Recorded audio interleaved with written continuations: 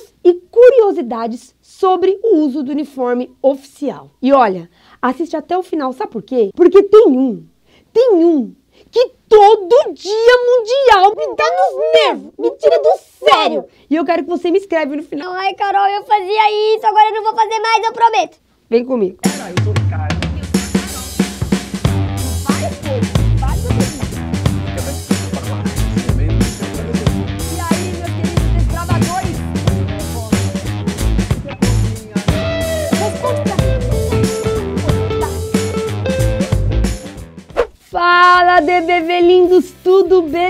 beleza? Carol Gigla aqui, da DBV Mania. Já conhece as nossas redes sociais, né? Vai lá no Instagram, arroba DBV Mania. Já curte esse vídeo, já compartilha, já fala com a galera. Ó, na verdade não dá pra compartilhar antes de assistir, eu acho, né?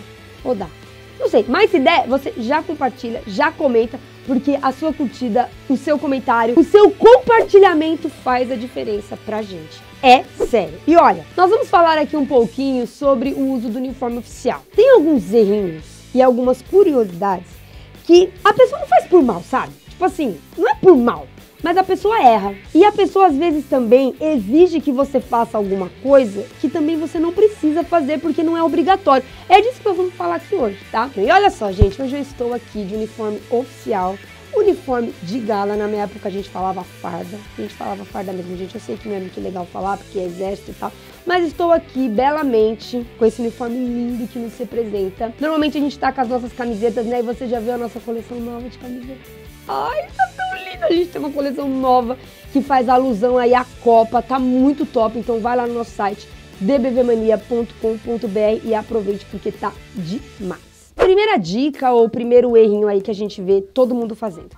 A nossa faixa aqui, tem gente que coloca na faixa todas as classes que já fez. Então fez amigo, companheiro, pesquisador, pioneiro, põe todas. Gente, não se usa assim. Você só coloca a tira da classe que você está fazendo.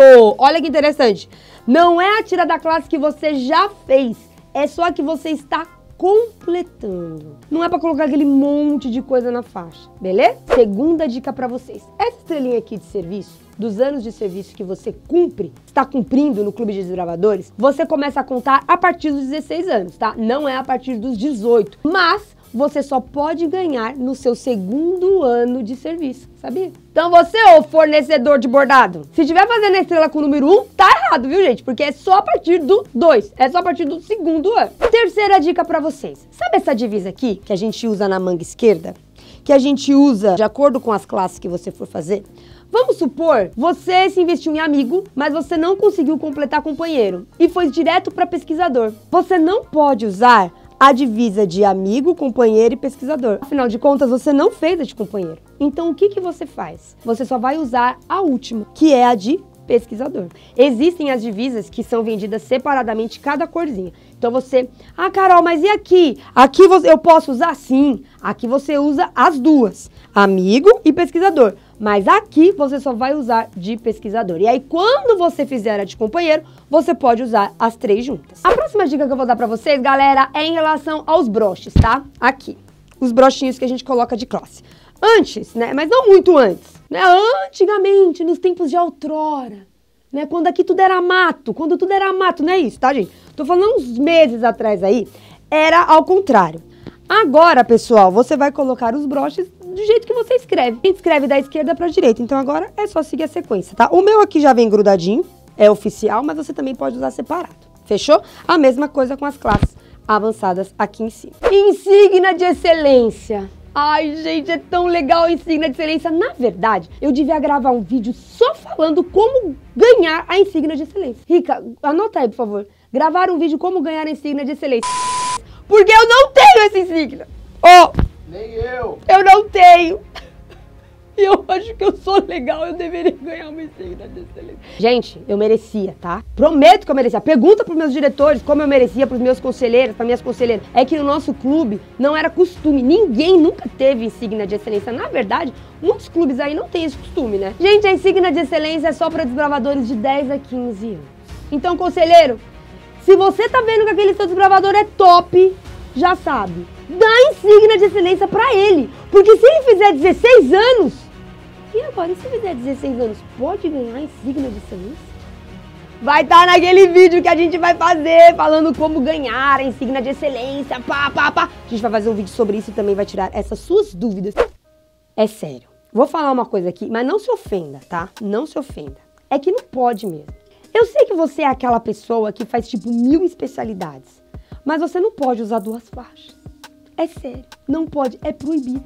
Você não pode usar uma faixa assim, uma faixa assim, nem duas faixas assim, nem duas faixas. Não pode.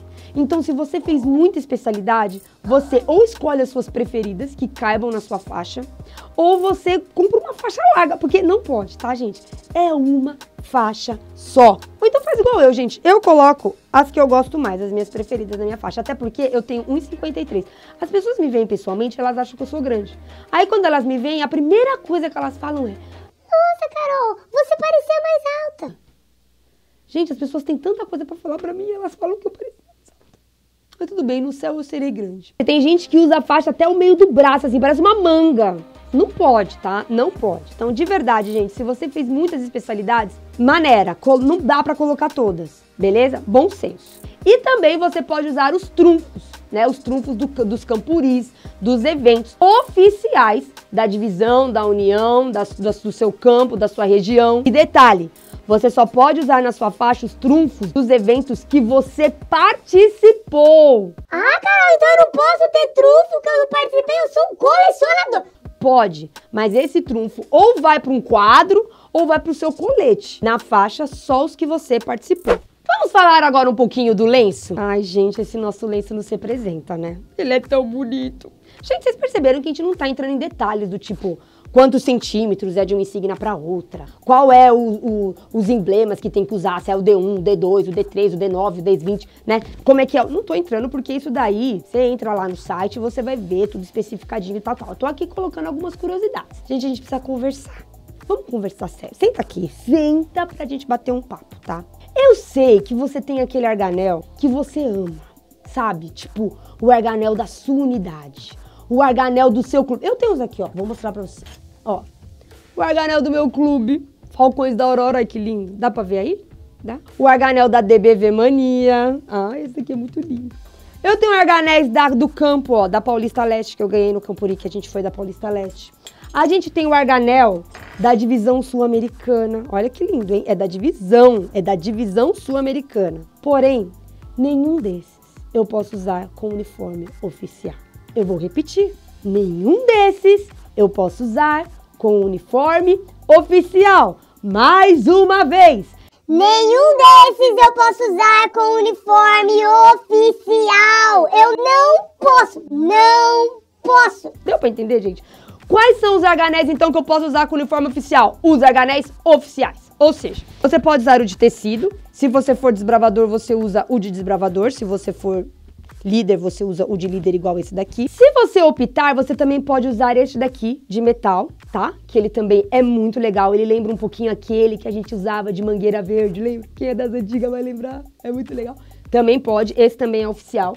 E eles também fizeram os dois arganéis oficiais de metal, ó que esse é o de líder e esse é o de desbravador. Antigamente também não podia, tá? Esses não eram oficiais, agora são. Você também pode usar. Esse do clube, da unidade, babá, você vai usar com a sua camiseta do clube, beleza? Quando você tiver com a camiseta da DBV Mania, beleza? Mas com o uniforme oficial, não pode. Outro detalhe, gente.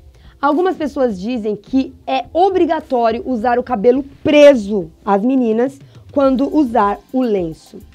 Então eu vou falar uma coisa para vocês. Não é obrigatório, tá? Você pode usar o cabelo solto sim quando você usar o lenço dos desbravadores. Não é falta de respeito, não é contra a lei, nada disso. Porém, presta atenção, para não falar que a Carol saiu por aí falando coisa errada. Se o seu clube ou o seu campo designar que todas as meninas vão usar o cabelo preso, você vai ter que usar o cabelo preso também. Então você só não vai usar se o seu clube não falar nada.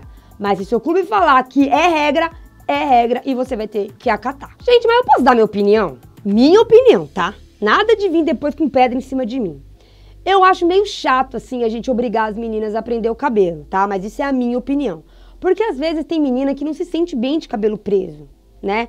Não sei, às vezes ela tem alguma coisa ali no rosto dela que ela quer esconder com o cabelo, ou às vezes o cabelo dela não é fácil para ser preso, tá? Não sei, gente, é tanta coisa que às vezes você obriga a pessoa a prender o cabelo e ela pode se sentir mal com isso. Mas é a minha opinião, beleza? Opcionais, você não precisa obrigar ninguém a usar. Boné é opcional e também o apito é opcional o apito também. Lembrando que o apito todos os membros da diretoria podem usar se quiserem. Nome na faixa e o PIN do batismo tá? Porque você vai ter ele aqui no seu uniforme, então também é opcional. Só um último aqui, uma última opinião minha. Uma última opinião, só uma opiniãozinha, uma opiniãozinha. O uniforme, né, fala que nós temos que usar sapato baixo, sapato preto baixo. Mas em eventos sociais, assim, eventos da igreja e tal, a gente até pode usar um saltinho. Mas a minha opinião é, não é muito legal também, sabe? Eu acho que o ideal mesmo é nós sempre usarmos um sapato confortável, um sapato baixo, um sapato ali que eu acho que orna mais com o clube, sabe? Então, compra um sapatinho bonitinho ali, com um sapatinho baixinho tal, que você gosta, que você se sente confortável, porque aqueles saltões enormes com uniforme não é, não é, não é legal. Mas isso também é a minha opinião. Agora escreve aí nos comentários o que você fazia de errado, me conta o que você não sabia, agora ficou sabendo. Espero que você tenha gostado demais desse vídeo e a gente fica aqui com essa mania linda de ser um DBV. Tchau!